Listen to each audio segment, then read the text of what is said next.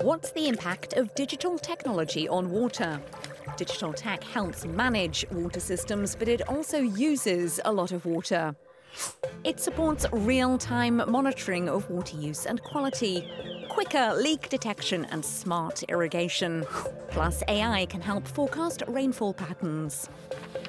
23% of water in EU networks is lost before it gets to consumers. Digital solutions can cut leaks by 30% and reduce overflows in the sewer system. However, digital tech and green energy mean higher water consumption. For example, data centers use up to 1.7 million litres of cooling water per day.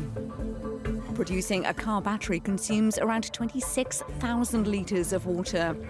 To offset this, the EU batteries regulation mandates sustainable water use throughout the battery's life cycle.